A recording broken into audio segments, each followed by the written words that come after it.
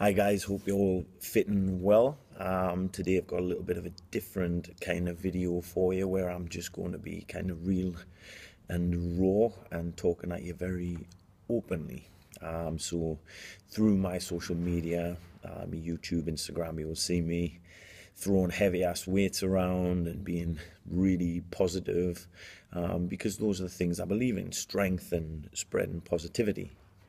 Um, but I don't just want to paint a picture um, of those two things. Yeah, I'm not so one dimensional. I don't want you to just see a guy who's strong, six foot two, 230 pounds, always positive. Um, who's going to relate to that? And it doesn't show all sides of me. Um, I, that I am certainly that way. That's who I have uh, grown to be, but not without work. Um, so I believe in strength, and I believe strength is a choice that you make. I do believe you can change, but I do believe it's completely up to you. Um, you have to make a choice, um, and sometimes people haven't felt enough pain um, or they're too comfortable in the position they are to want to make that change. Um, so I'm going to tell you a little bit of a background story about me, um, why I believe in strength, and why I do believe it is your choice. Um, at the age of 10, I made a huge life changing decision for not just myself, but for my sister. Um, 10 years old,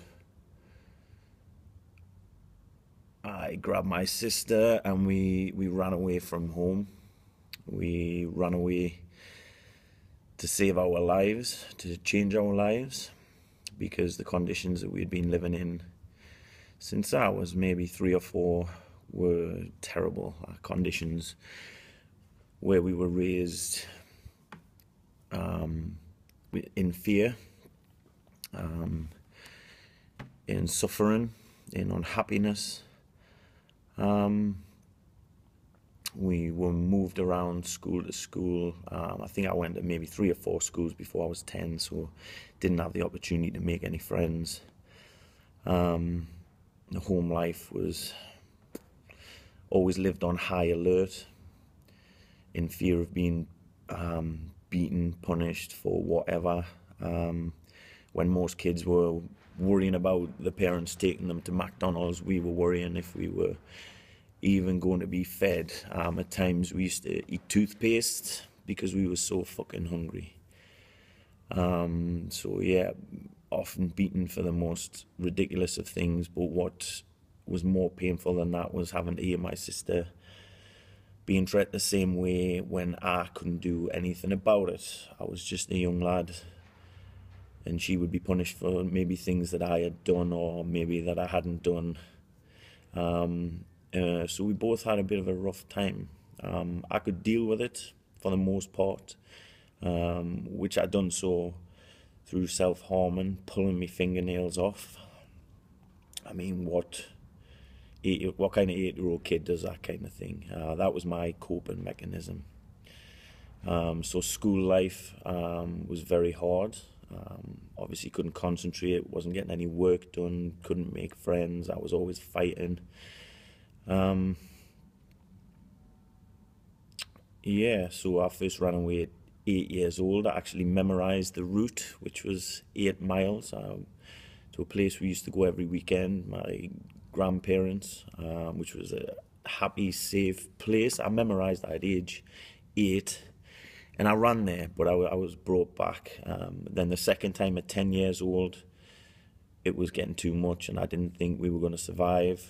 Um, I couldn't bear hearing my sister being put through the same thing as me. So we both ran, um, and this time we didn't go back. It was a very, very painful thing to go through, having to leave uh, your mother behind and two sisters behind. Um, and I do believe, I don't think she knew a lot of what was going on, or if she did, she was powerless because she was uh, put through the same thing. So at 10 years old, I made a very, very brave decision to get away and to change my mine and my sister's life for the better. Um, and yeah, so here we are today. I'm not going to give you everything. Um, there was a lot that went on after that, but that was certainly the main change to where and who I am today. Um, and I guess by sharing this, I just want to let you know that no matter what pains you're going through, what troubles you're going through, that there is hope, that you can change your life, but it's up to you. You have to make the decision, just as I did. You you gotta you gotta run. You gotta run to that safe place, to that hopeful place, to your dreams, to what you want to achieve. Um, yeah, I just want people to believe that they can change.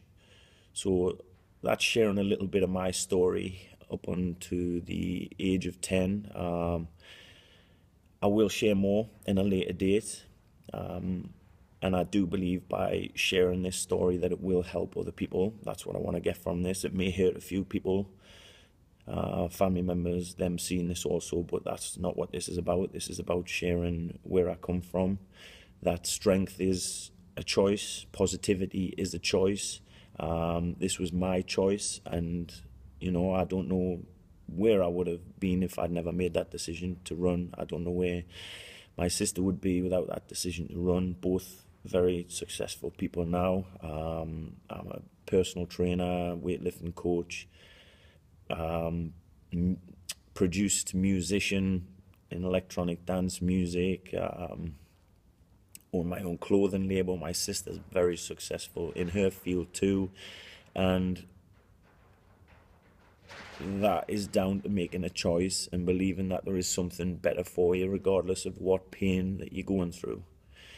So, guys, please share this video. Um, please comment on this video if it has helped you. And please subscribe because I'm going to show more of this side of who I am, how I got to be where I am, not just lifting heavy weights, not just being this positive guy and I'll share with you things that I've done to get me to this position. Thank you very much. Peace out.